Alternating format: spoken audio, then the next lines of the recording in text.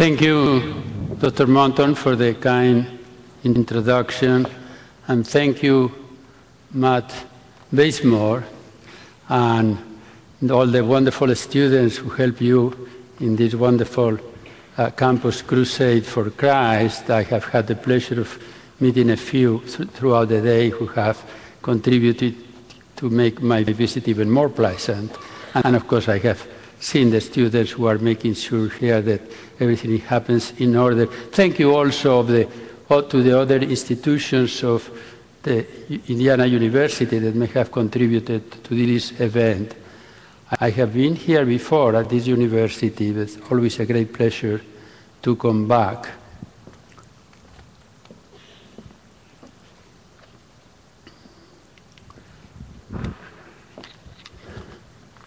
This is one of the great masterpieces of contemporary art, a painting by the great Spanish painter Pablo Picasso, known as the Guernica.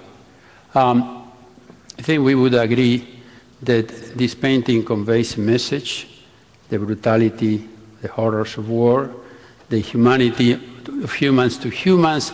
This was after the Nazis have bombed a civilian population in Spain and have killed 25% of the inhabitants. So we would agree that it has been designed intentionally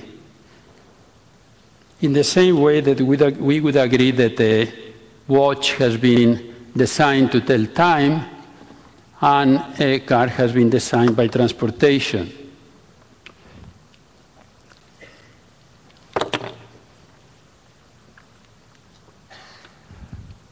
You can see there are the letters of the alphabet and the nine digits. These are butterfly wings. Now, we could use these letters to write English text and the digits to make arithmetic calculations. But I think most of you would agree with me that they have not been designed for that purpose in the same way that we would not say that a mountain has been designed for skiing, although we can use the mountain for skiing, and we can use a river for navigation, but it has not been designed for that purpose. The point that we'll be making is the human eye shares something in common with the painting and the watch and the car, and something in common with the butterfly wings and the mountain and the river. It shares in common with the first set in that if it were not because of the purpose it serves, the purpose of seeing, it will not have come to be. But it shares with the butterfly wings and the mountain and the river that it is the result of natural processes. It is not the result of an intentional design by an intelligent designer, and we owe this understanding of organs that have functions that have been designed for a purpose, but that have not been designed by a designer to Darwin's discovery of natural selection.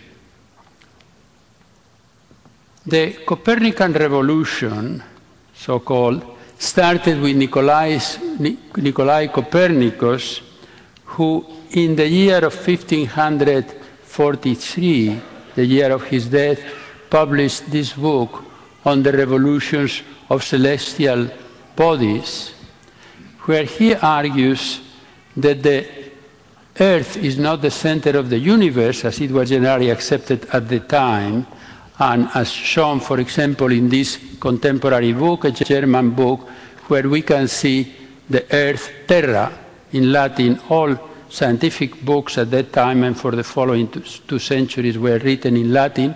So we have the earth and the moon, and then you have here Mercury, Venus, and then the sun going around like the other planets around the earth, then Mars, Jupiter, Saturn, and the stellar constellations.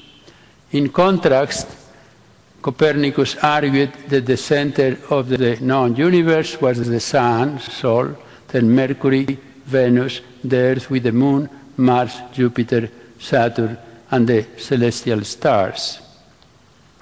But to understand the meaning of the Copernican revolution, one has to go one step farther and look into some of his successors, of which I have lighted here two, Galileo and Newton, who lived 100 years apart of each other, and Galileo 100 years approximately after Copernicus, and they jointly represent of the beginning of science in the modern sense of the word. The commitment to the notion that the material universe, the natural universe, consists of matter in motion governed by natural laws. Laws that can be discovered, that are simple, that are universal in the sense that they apply on earth as well as, well as in the heavens, and that they can, subject, can be subject to test by observation and experiment, like this law of force equal mass times acceleration, or the inverse square law of attraction, that the attraction between two bodies is proportional to the product of the masses, but inversely related to the square of their distance. They have left out organisms. They had been left out of the scientific revolution for a very good reason that had been argued by, argued by philosophers and theologians, even in classical Greece before the time of Christ and all through the centuries, but had been stated or was eventually stated better by William Paley than by anybody else ever of, of since. Uh, in this book, Natural Theology, which was part of the canon at Cambridge when, chance, when Darwin was a student, and therefore uh, he read and studied uh, William Paley with great appreciation. William Paley developed an extended argument which starts with the human eye, pointing out that the human eye consists of numerous parts. Uh, here we have the cornea, the iris, the lens, the nerve, uh, which sends the information from the retina to the brain, the retina, and many others. And he says that all these parts are precisely adjusted one to the other, in the same way as the parts of a watch are assigned and to fit one with the other, designed to fit one with the other so that the watch can tell time.